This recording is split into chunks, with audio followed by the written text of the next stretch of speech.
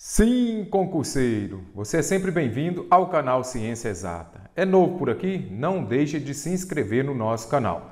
Farei hoje a correção de algumas questões da Banca Vunesp, questões muito recentes, como vocês podem ver. Lembrando que tem prova domingo, então assista às aulas, assista aos nossos vídeos, e estude e se prepare para a prova.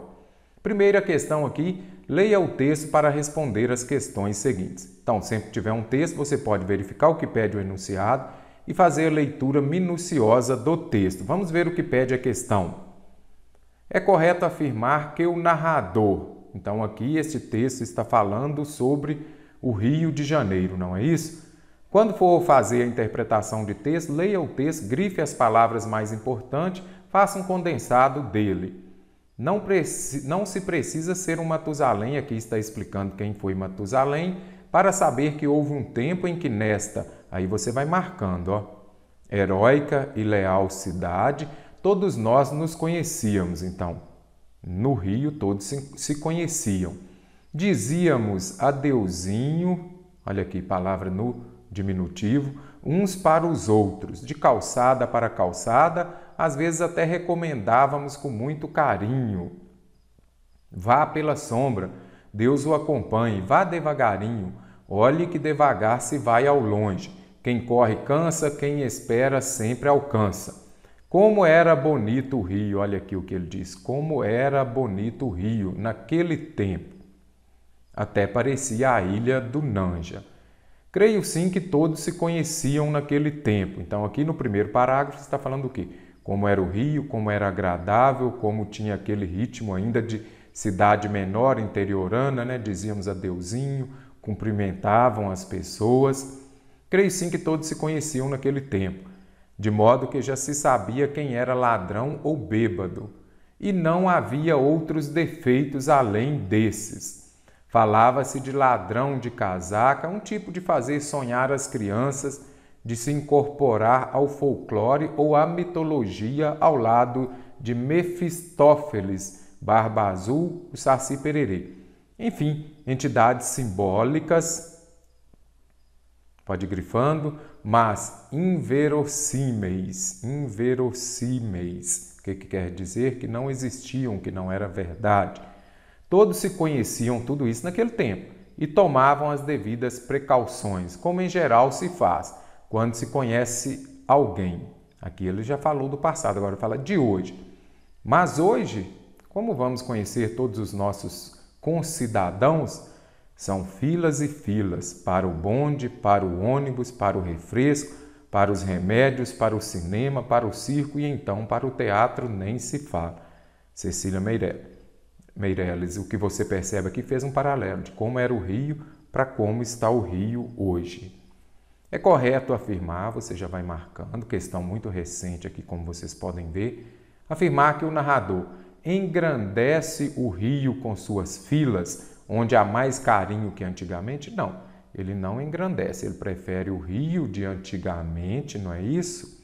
Onde há mais carinho, não. No início do texto fala que antes, como vocês podem observar aqui, antigamente, olha aqui, ó, é, às vezes até recomendávamos com muito carinho. Isso aqui é antigamente. Hoje, não. Hoje já está ao contrário. Hoje tem muitas filas. Então podemos descartar. Acredita que as pessoas do Rio mantêm o carinho entre si como outrora? Se você voltar aqui ao texto, você vai ver que não. Quando ele fala das filas, né, como vamos conhecer todos os nossos concidadãos? São filas e filas. Para o bonde, para o ônibus, para o refresco, para o cinema, para tudo tem fila. Ou seja, a cidade cresceu. Então, elas mantêm esse carinho entre si como outrora, como antigamente? Também não.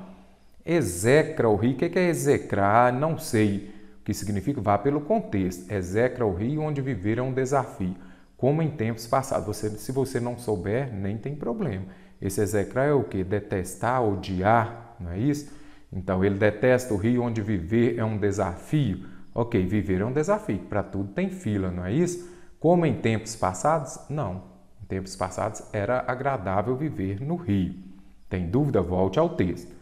Ele exalta o rio de outro tempo. Ok, até aqui está correto. quando todas as pessoas se conheciam. Então, quando você volta aqui no texto, ele está falando bem. Ele fala lá que nesta heróica e leal cidade todos nos conhecíamos, e aqui ele vai falando de como era. Então, naquele tempo lá, as pessoas se conheciam, porque, por quê? Quando você vai lá e fala, dizíamos adeuzinho uns para os outros, de calçada para calçada. Então você estava sempre encontrando, encontrando as pessoas. Então é por isso aqui que a alternativa D está correta. Opõe o passado do Rio ao seu presente, correto, não é? Sem ter opinião sobre a cidade, não podemos descartar. Ele tem uma opinião sobre a cidade. Quando ele fala lá, por exemplo, que nesta heróica e leal cidade, então aqui ele está falando, ele tem uma opinião sobre a cidade. Aqui embaixo também, olha aqui, é ladrão. E não havia outros defeitos além desses. Então aqui ele está é, expondo, ele está dando uma opinião sobre a cidade. Então fique atento, principalmente quando tiver duas orações, por exemplo, que aí geralmente uma é correta e a outra não. Então você fica atento e procura aquela que se aproxima, caso não tenha certeza, que essa questão é uma questão de mais fácil compreensão. Ainda continuando aqui uma questão recente, prova aplicada neste mês, no trecho do primeiro parágrafo, às vezes até recomendávamos com muito carinho. Vá pela sombra, Deus o acompanhe, vá devagarinho. Olhe que devagar se vai ao longe. Ok. O termo que comprova a, ida de a ideia de carinho expressa pelo narrador é quando fala vá pela sombra, isso está expressando algum carinho? Quando se fala vá pela sombra, não. Devagarinho, olha o diminutivo aqui, ó. Vá devagarinho, às vezes as pessoas falam, ah, meu amorzinho. Então há uma diferença. Quando você usa esse diminutivo aqui, ele expressa, assim, ele passa uma ideia de carinho. Mesmo que você não soubesse, mesmo você lendo, você já conseguiria, conseguiria resolver. Vá devagarinho, olha que devagar se vai ao longe. Então, isso aqui expressa carinho. Aí você já pode descartar as outras alternativas. É uma questão um pouco diferente que a VUNESP pede, mas é uma questão de fácil entendimento que você conseguirá resolver, mesmo que você não esteja habituado a resolver questões deste jeito. A VUNESP também gosta muito de cobrar crase, inclusive na última prova dela tinha uma questão de crase Aí é questão que sempre que eu falo, você não pode errar, porque o seu concorrente ele vai acertar. A crase está empregada de forma correta em correlação não é causa, é um mantra que já foi ensinado a uma. Pegou a sua prova, tem crase? Primeira coisa que você vai fazer é o quê? Você já escreve lá, não. Você não usa crase onde? Antes de palavras no masculino, antes de verbo, é, crase no singular com a palavra no plural, a palavra seguinte no plural, aí você já sabe. Isso aqui é clássico, aí você já procura na sua prova e já descarta. Partir, isso é verbo, não é? Você já vai lá, escreve, aí você já veio aqui e descartou. Vamos ver aqui, ó, diz respeito a técnicas, palavra no plural e a crase está no singular. Pode? Também não. Isso aqui é clássico, a banca cobra muito. Aqui não, e aqui também não. Vamos ver. Ensinada a uma série, aqui nós temos o quê? Um pronome indefinido. Você não usa crase antes de pronome indefinido. Substitua a feminina por uma masculina. Ensinado a, eu falaria ao um, ao um, vamos pôr aqui uma outra palavra, a um grupo. Ensinado, eu falaria o quê? A um grupo. Se eu dissesse ao um grupo, aí você usaria crase. Então, deu ao antes de uma palavra masculina, você vai usar crase antes de uma feminina. Deu somente a antes de uma masculina, você não usa crase antes de uma feminina, ok? Então aqui não usou crase porque nós temos um pronome indefinido. Que já vimos que é verbo, você não usa. Aqui é também crase no singular antes de palavras no plural, você não pode. Será que o surgimento dessa onda de calor pode ser atribuído à influência? Eu sempre substituo a palavra por ato pode ser atribuído o ato ao ato. Então, deu ao antes de uma masculina, antes de uma feminina, vai dar crase. Então, a alternativa D é a correta. Ah, mas por quê? Porque o que é atribuído é atribuído a alguma coisa, mas o A de influência deu a junção dos dois As deu A com acento indicativo de crase. Talvez o livro seja útil a quem? Se é útil, é útil a alguma coisa ou a alguma pessoa. Só que quem aqui não posso usar, por quê? Não uso crase aqui antes do pronome quem, tá bom? Então, neste caso aqui, não uso crase. Quem? Eu não sei. Então, aqui está indefinido. Utilize essa tática de substituir a feminina por uma masculina e que vai te ajudar bastante. Sendo assim, a alternativa D é a correta. A frase em que a concordância, próxima prova sua da VUNESP, domingo tem prova, não é isso? Então fique atento já vai cobrar concordância. Concordância foi empregada de maneira correta. O nascer do sol ocorre. Tem concordância? O que, é que você vai fazer? Procure o verbo. Pegou sua prova, grife, procure o verbo. O que que ocorre? Aí você já pega, olha, esse verbo está no singular. O que que ocorre? O nascer do sol. Também está no singular, então aqui está correto todas as manhãs, e não é o canto dos galos que os provoca. Eu gosto, gosto desse tipo de questão. Selecionei esta não à toa.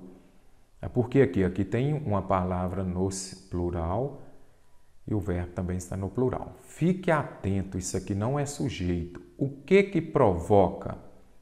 O canto dos galos. Isso aqui é um sujeito simples.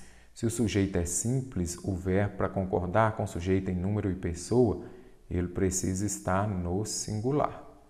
Então, o correto aqui que os provoca. Ah, professor, mas esse os aqui está no plural. Não, não se preocupe. É o canto dos galos que os provocam. Que provocam o quê?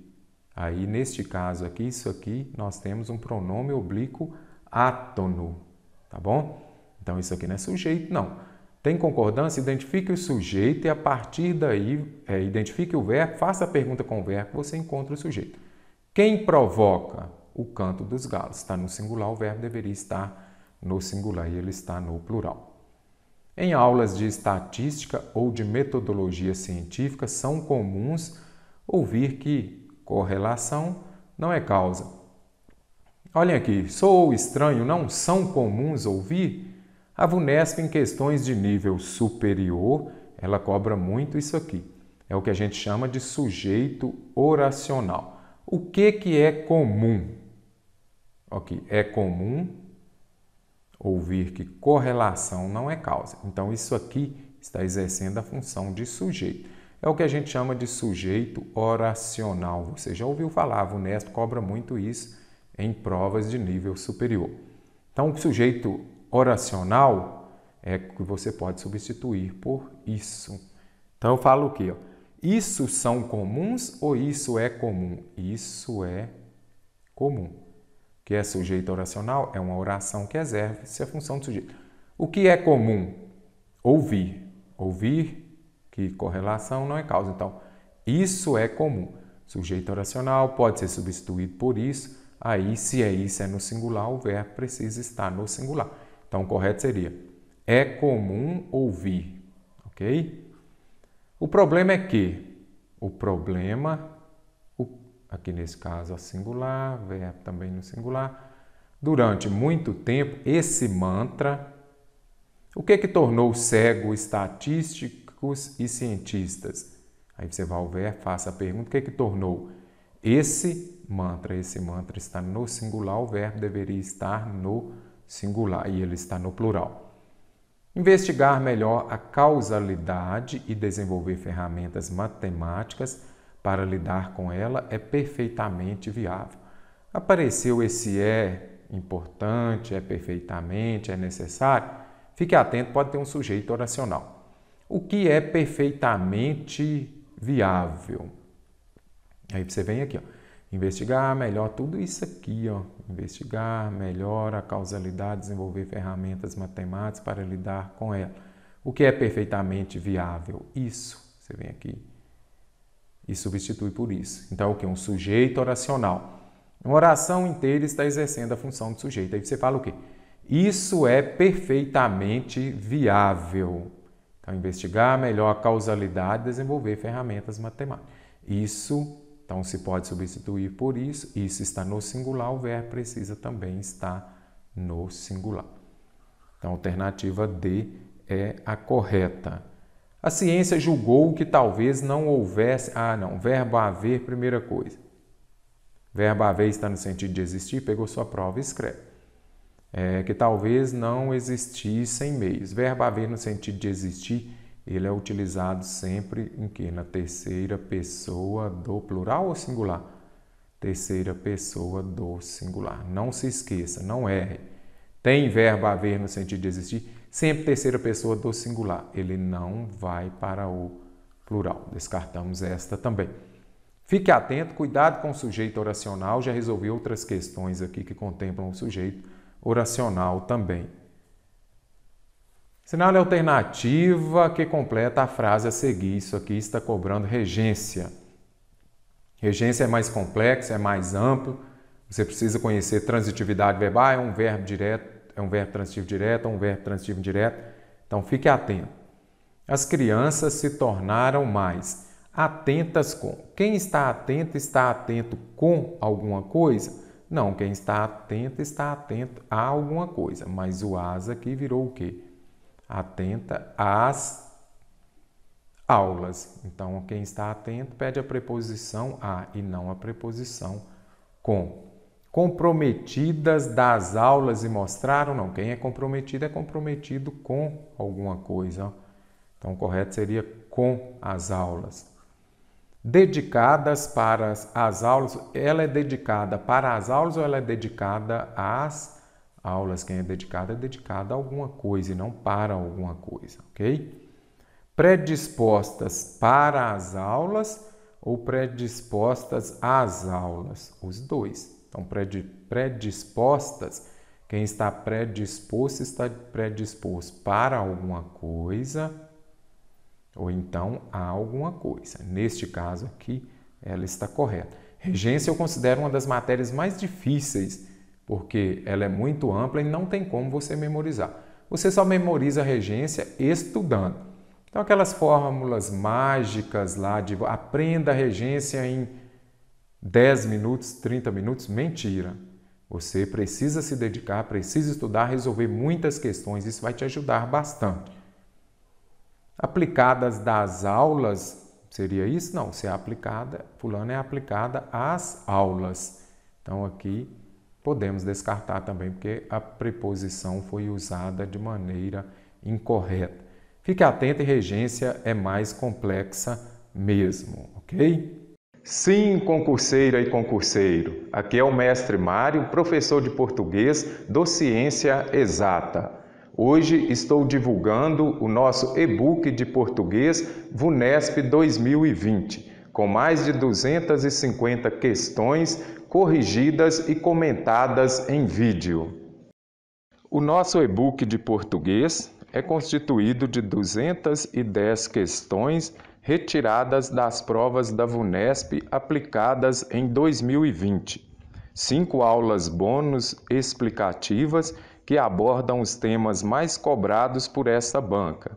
50 questões corrigidas e comentadas em vídeos sobre os assuntos das aulas. Apostila em formato PDF com todo o material.